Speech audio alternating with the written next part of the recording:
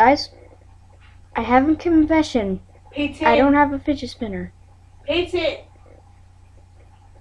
You're grounded. Okay, that's enough of this video. Bye.